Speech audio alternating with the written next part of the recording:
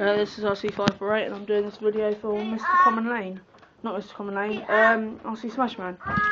Um, the gearbox is there for the motor to be attached to. Quite a big fuel tank for the lever. A switch.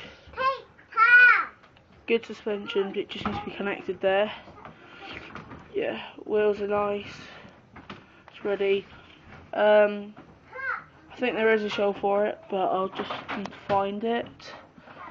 So yeah,